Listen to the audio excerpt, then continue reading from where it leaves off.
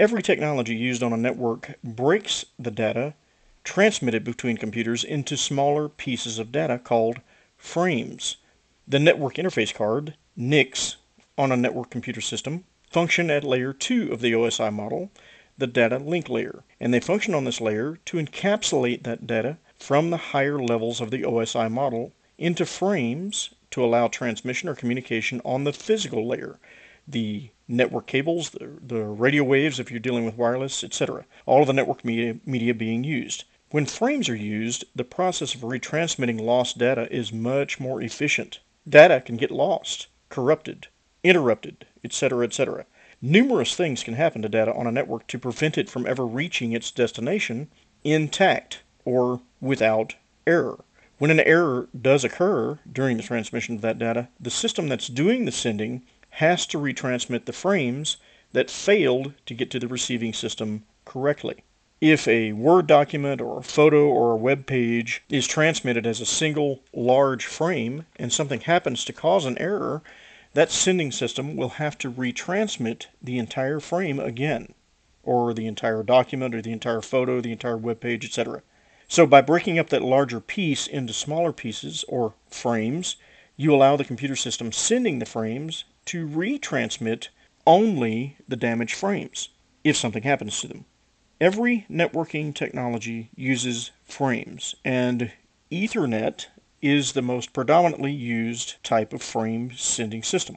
An Ethernet frame contains basically five pieces of information the MAC address of the frame's recipient, the MAC address of the sending system, the type of data encapsulated inside that frame, then you have the actual data itself, then you have the frame check sequence. So let's just go over those shortly. An Ethernet frame always begins with a preamble. Now this is a 64-bit series of ones and zeros that always end with 1 1.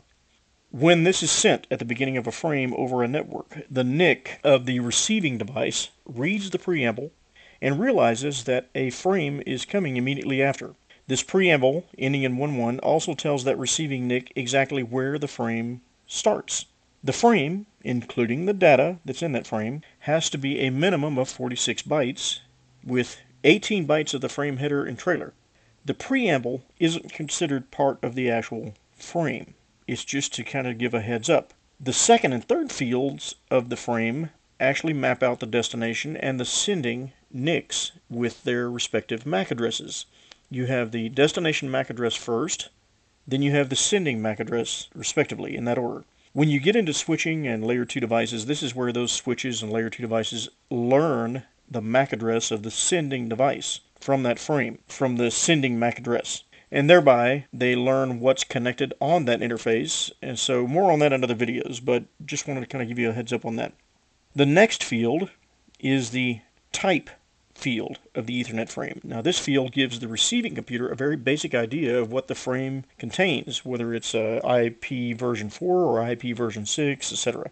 Now, this confuses some when they're studying for or learning about networking, as this field, this type field, does not tell you if the frame carries what is referred to as higher level data, like a, a Word document or an email or a web page, etc. It doesn't really tell it that. Once you get into the data section of the frame, that determination can be made as to what type of document or, or what type of data you're dealing with, higher level data. Rather, this type field is only a basic kind of a heads up on what the frame contains for the receiving computer NIC.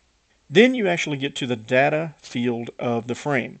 This is the field that actually contains the payload, the information being sent across the network. It can be an IP packet, an ARP or address resolution protocol, etc. Now, regardless of what type of data this field contains, the payload must have at least 46 bytes. If it's somehow smaller than 46 bytes, the NIC from the sending device will automatically add extra zeros called padding to the end to make sure this payload is at least 46 bytes. Lastly, in the entire frame, you have the frame check sequence field, or the FCS. This field helps the nodes on a network to know when originally good data has had something happen to it along the way. Uh, it got corrupted, it got interrupted, it got broken up, whatever the case may be.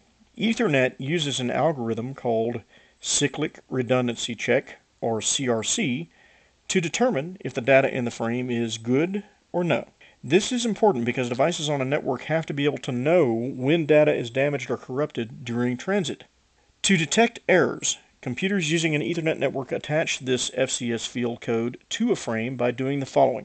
The sending machine, when it's first creating the Ethernet frame, runs the data through a mathematical formula called the CRC algorithm, and it attaches that result to the end of the frame in this last FCS field. Now this is referred to as the trailer when we're dealing with frames. When the receiving machine gets the frame, it performs the same exact calculation using the same algorithm, and it compares its answer to the answer that's on the trailer, or that's added to the trailer field, the FCS field. If they match, the receiving or destination machine knows that that frame is good. It hasn't been corrupted or damaged along the way, and it, and it, it goes ahead and opens that frame to fully receive it. If, however, the answers don't match, the machine receiving just kind of drops that frame. That's what we call it in networking. It just drops that frame and allows the higher level layers or protocols like TCP to handle the retransmission of that frame if it's needed. And that's essentially how an Ethernet frame is built, used, and understood on a computer network. If you'd like to get in on the free subnetting mini course that will teach you how to learn and use subnetting with ease for like a Network Plus exam level, Sign up for the free course while enrollment is open now using the link below in the description or by going to acenetworker.com forward slash subnetting, and I'll see you there.